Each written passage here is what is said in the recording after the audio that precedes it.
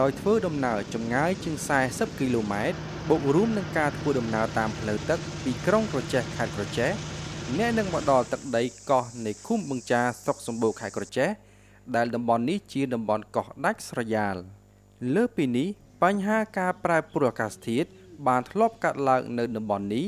ដែលបានបង្កជាបាតុភូតគ្រោះរាំងស្ងួតជាដើម និងបានគំរាមកំហែងដល់ប្រជាពលរដ្ឋកំពុងរស់នៅទីនេះ ពី3ឆ្នាំមុនលោកគ្រូជួបប្រទះនឹងការរាំងស្ងួតក្តៅខ្លាំងធ្វើឲ្យខ្ញុំពិបាកក្នុងការប្រើប្រាស់ទឹកចាហើយដំណាំដាំដុះក៏រីងស្ងួតងាប់អីទៅហើយគោក្បីក៏វាមានជំងឺលោកគ្រូហើយពិបាកក្នុងការទៅយកទឹកមកប្រើប្រាស់ក្នុងគ្រួសារទៀតប្រើក្មេងទៅវាខ្លាចជួបប្រទះវាលងទឹកលងអីលោកគ្រូ ដំណោះស្រាយនាពេលកន្លងមក គឺប្រជាពលរដ្ឋនៅទីនេះបានប្រើប្រាស់ម៉ាស៊ីនបូមទឹក ដែលមន្ទីរកសិកម្មរុក្ខាប្រមាញ់និងនេសាទខេត្តយល់ថាវាប៉ះពាល់ទៅដល់ការប្រែប្រួលអាកាសធាតុជារួមគឺការប្រែប្រួលអាកាសធាតុតែងតែប៉ះពាល់ទូទាំងខេត្តហ្នឹងតែដោយឡែកស្រុកសម្បូរនេះវាប៉ះពាល់ច្រើនជាងគេហើយញឹកញាប់ជាងគេហើយកន្លងមកជាជន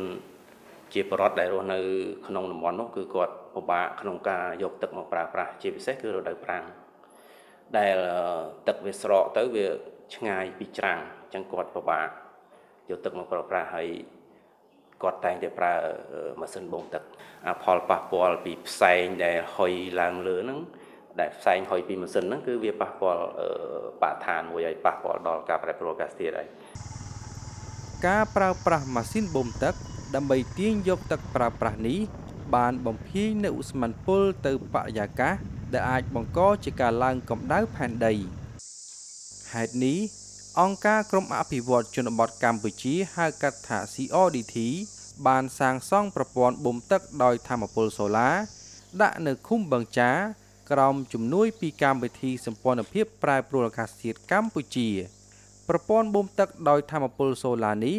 គឺប្រតិបត្តិការតាមរយៈការបំលែងធម្មពលអគ្គិសនីចេញពីពន្លឺព្រះអាទិត្យទៅបញ្ជាម៉ូទ័រឲ្យដំណើរការសម្រាប់ការបូមទឹក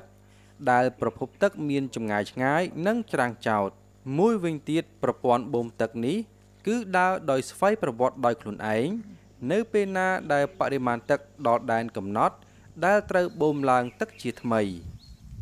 ដូច្នេះ នៅពេលដែលទឹកត្រូវបានបូមដាក់នៅក្នុងធុងស៊ីតែនធំខាងលើរួចវានឹងត្រូវបន្តចែកចាយសម្រាប់ការប្រើប្រាស់ផ្សេងៗនៅក្នុងឃុំបឹងចាអញ្ចឹងទូនទីវាទី1វាប្រព័ន្ធទាំងកញ្ចក់សូឡាហ្នឹងគឺវាជាអ្នកស្រូបយកធម្មពលពលឺព្រះអាទិត្យដើម្បីបង្កើនទៅជាធម្មពលអគ្គិសនីមួយចូលមកក្នុងប្រអប់ភ្លើង ហើយប្រអប់ភ្លើងហ្នឹងវាបន្តចរន្តហ្នឹងទៅភ្ជាប់ជាមួយម៉ូទ័រដើម្បីឲ្យវាមានភ្លើងក្នុងការពង្វិលម៉ូទ័រហ្នឹងធ្វើការបូមមកផ្ទុកនៅក្នុងស៊ីតែនហើយនៅពេលដែលផ្ដល់ស៊ីតែនហើយវាធ្វើការចែកចាយទៅដល់កសិករប្រើប្រាស់តាមផ្ទះក៏ដូចជាកសិដ្ឋានគំរូនិងកន្លែងកសិករផ្សេងទៀតដែលគាត់ខ្វះខាតទឹកប្រើប្រាស់ហ្នឹងណាពីមួយថ្ងៃទៅមួយថ្ងៃ ទឹកអាចបូមចេញពីទន្លេបានគ្រប់ពេលវេលាដោយងាយស្រួល ទឹកទាំងនោះ បានគ្រប់គង់ទៅកាន់សហគមន៍នៅក្នុងភូមិដំរែឃុំបឹងចា ដែលមានកសិដ្ឋានគំរូកំពុងតែដំណើរការសកម្មភាពរបស់ខ្លួន លើការដាំដំណាំកសិកម្មបាទកសិដ្ឋានគំរូគឺជាកសិដ្ឋាន ដែលផ្ដល់បទពិសោធន៍បាទដល់ផ្ដល់បទពិសោធន៍ដល់អឺប្រជាជននៅក្នុងភូមិដំរែដែលរស់នៅក្នុងភូមិដំរែនេះសម្រាប់ ធ្វើបទបង្ហាញបាទធ្វើបទបង្ហាញដល់ប្រជាជនយើងដែលចង់ធ្វើមុខរបរដាំដំណាំកសកម្មយើងបាទគ្រួសារដែលឧស្សាហ៍ព្យាយាមចំនួន4ទៅ5គ្រួសារនៅក្នុងភូមិដំរែឃុំបឹងចាត្រូវបានជ្រើសរើសដើម្បីមកទទួលបានការបណ្ដុះបណ្ដាលលើបច្ចេកទេសដាំដំណាំកសិកម្មចម្ការបន្លែក្រោយពីទទួលបានការបណ្ដុះបណ្ដាល ពួកគាត់ក៏ទទួលបានដីសម្រាប់ការដាំដំណាំសាឡបង ក្រោមការបង្ហាត់បង្ហាញពីអ្នកជំនាញព្រមទាំងទទួលបានទឹកស្រោចស្រពបន្លែបង្ការ ពីប្រព័ន្ធបូមទឹកដោយធម្មពលសូឡាបរិមាណគ្រប់គង់ទឹកបានគ្រប់គ្រាន់និងគ្រប់ពេលវេលា ជាហេតុនាំឲ្យផលិតផលបន្លែបង្ការរបស់គ្រួសារកសិករនៅក្នុងកសិដ្ឋានគំរូនេះទទួលបានផលល្អនិងបរិមាណច្រើន សម្រាប់ការយកទៅលក់នៅទីផ្សារ ទីផ្សារដែលពួកគាត់យកទៅលក់គឺនៅផ្សារសណ្ដានក្នុងស្រុកសម្បូរប៉ុន្តែការយកទៅលក់ខ្លួនឯងគឺមានផលលំបាកច្រើនបូករួមទទួលបានចំណូលទាបទើបសហគមន៍នេះបានបង្កើតក្រុមអ្នករកទីផ្សារសម្រាប់ផលិតផលបន្លែនៅក្នុងសហគមន៍សហគមន៍ខ្ញុំទៅបង្កើតមែនប៉ុន្តែសប្តាហ៍ថ្ងៃហ្នឹងខ្ញុំជួយដល់សហគមន៍គឺដើម្បីរកទីផ្សារខាងក្រៅដូចថាទីផ្សារខាងក្រៅដើម្បីមកទិញផលិតផលពួកគាត់ឲ្យទៅលក់ មិនចាំឲ្យគាត់ចំណាយពេលវេលាទៅលក់ដោយខ្លួនឯងទេចុងការផលិតផលតិចគាត់ចំណាយពេលវេលាទៅលក់ដោយខ្លួនឯងហ្នឹងវាខាតថ្លៃសាំងខាតពេលវេលាដែលគាត់ទៅដាំដោះទៀតអញ្ចឹងពួកខ្ញុំបង្កើតជាសហគមន៍ដើម្បីយើងនាំផលិតផលពីគាត់ទៅលក់ដោយខ្លួនឯង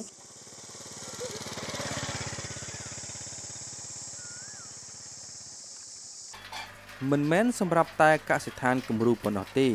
ទឹកដែលចេញពីប្រព័ន្ធបូមទឹកដោយធម្មពលសូឡាក៏មានវិសាលភាពក្នុងការចែកចាយ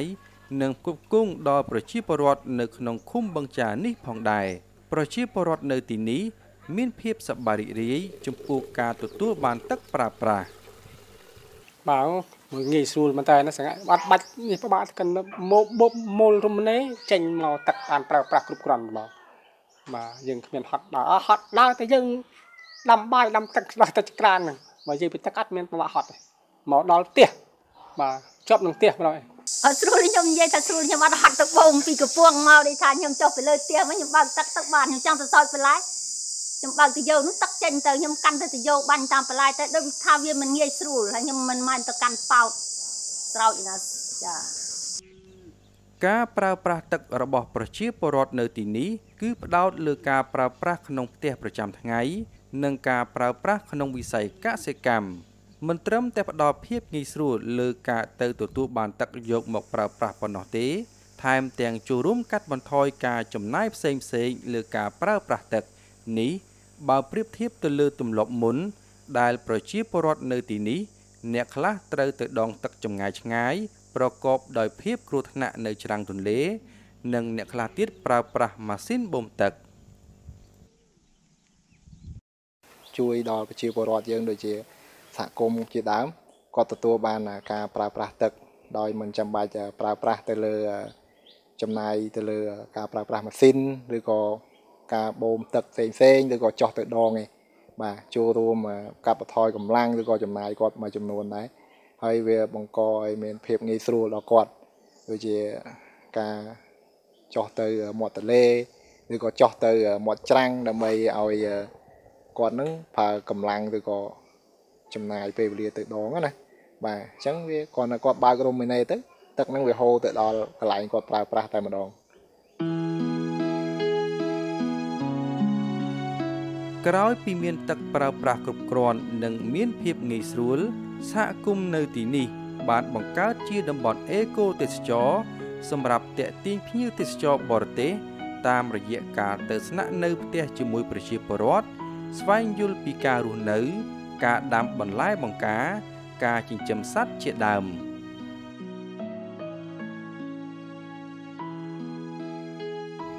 ដូច្នេះការដែលលែងប្រើប្រាស់ម៉ាស៊ីនបូមទឹកហើយងាកមកប្រើប្រាស់ប្រព័ន្ធបូមទឹកដែលដើរដោយធម្មពលសូឡា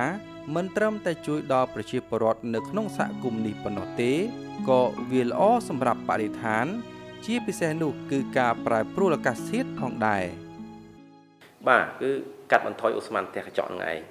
បាទគេថាគាត់លែងប្រើម៉ាស៊ីនទៅលែងមានផ្សែងលែងមានស្អីចឹងអូអាឧស្ម័នផ្ទះកញ្ចក់ហ្នឹងវាកាត់បន្ថយចឹងកម្ដៅការឡើងកម្ដៅក៏កាត់បន្ថយដែរចឹងការប្រែប្រួលអាកាសធាតុយើងមិនមែនថាអត់មានមានដែរប៉ុន្តែវាមិនខ្លាំងពេកវាតិចតួចយ៉ាងណា